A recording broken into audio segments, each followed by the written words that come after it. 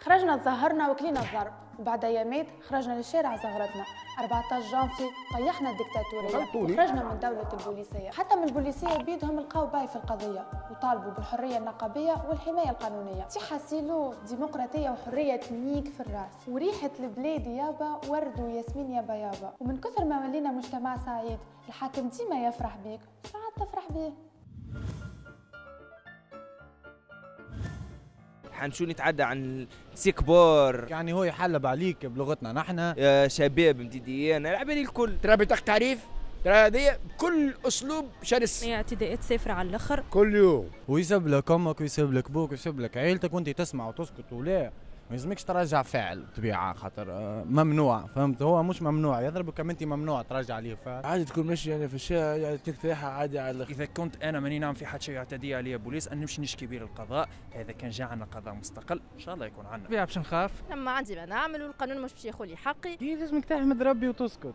ما عندكش حاجة تحميك أنت كمواطن؟ اونتر بارنتيز دخلوا فيه معناها. حتى كان معناتها يديم يخبيوا على بعضهم. تشوف مثلا قدم واحد مثلا اللي قتلوه في استاد الفيلم عمليه وقاعده تصير في تونس. أنا كان باش نحكي معاك تونك اتيديونت اون دروا باش نقول لك بيان سور لازم نشد في حقي ولازم نقعد جوسكو بو كل يوم ماذا بيا قيس السيد تبدل تنحى من اللي جا هو جد الكورونا. تونس في سؤال فما حرية تعبير ولا؟ عندك l'option تجاوب كان بنعم خلى برشا عباد في ال micro-trottoir قبل ما تدور الكاميرا يبدأ سب وتجليغ على عجلة. أما كي تدور تدور اللغة. من عباد في التركينة للبوليسية قطعت علمنا قداش الحاكم متاعنا حسيس وقلبه رهيف. لدرجة إنه طفلة mineure وعندها تأخر ذهني. كي تهبط فيديو في فيسبوك تقول اللي البوليسية قطاطس يشدوها في نهارها. البوبلي اللي قاعد يصير الايامات هذوما. على مشروع قانون حماية الأمنيين وأعوان الديوان. واللي عبير موسي مثلا اللي ما يشكي بن عليه جملة. supporter فيه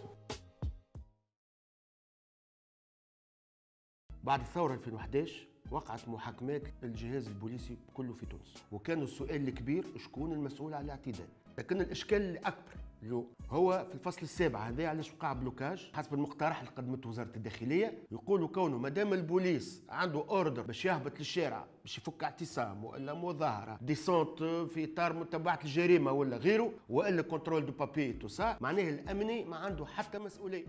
شكون يتحمل المسؤولية؟ هو صاحب القرار السياسي. donc المعادلة المعادلة لهنا. الأمنيين يقول لك ما نحبوش نعاودوا سيناريو بن علي محاكمات 2011 والحكومات والناس اللي تعمل في السياسة يقول لك أخويا تحب تحب تحب l'image نتاعي ديما نظيفة قدام شعبي أنا وقدام الشباب وأنا راني مع الحريات ومع الحقوق وضد ال- ال- العنف معناتها اللي يسلط فيه البوليس على المواطن. يتوسع donc في الأخر بالكل عقلية. علاش القانون هذا بتاع؟ على خاطر كل واحد شيطانه في جيبه. والمواطن الشبقه المواطن خاصة الشباب. هو عنده الهاجس الكبير هو دولة البوليس.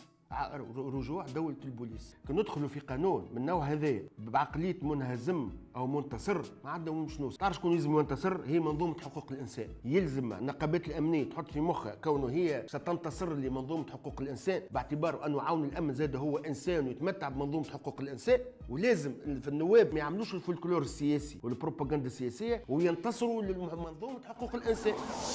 كانك حنشون خمجون وخارج على القانون. اللي ضرب واللي يصغرون حلمك تدخل المجرمين للسجون. تسيب السارق وتشد القنقون. ولا أي واحد مكفن جونته في الكلسون.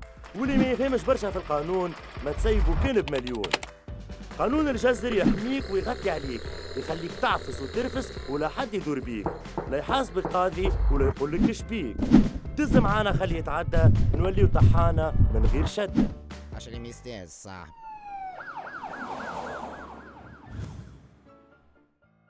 ما عندهش حق. والله ما عنده حق. حاجة مازال ما تعديش جملة. يعتدي عليه نعتدي عليه وخلي القانون يحميه من لا يجوز. أنا القانون هذايا أنا ضده أنا ريتو هما يسميوه قانون الجزر هذايا الفصل السابعه هو سامحني صح ولا ما صحوش عليه وجا قاعدين يطبقوا فيه أما تو بزيدوا يقنوه. ضربني نضربه. منقلني نمنقلو اللي عمله لي باش نعمله له فهمت؟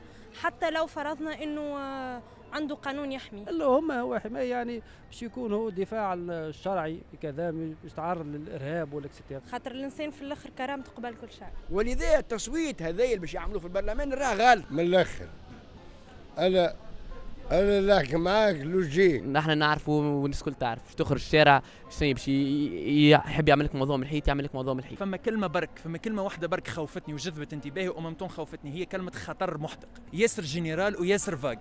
بطريقة أو بأخرى باش نرجعوا لدولة القانون. دولة آه، دولة البوليس بليتو مش دولة القانون. قانونهم هما bien sûr.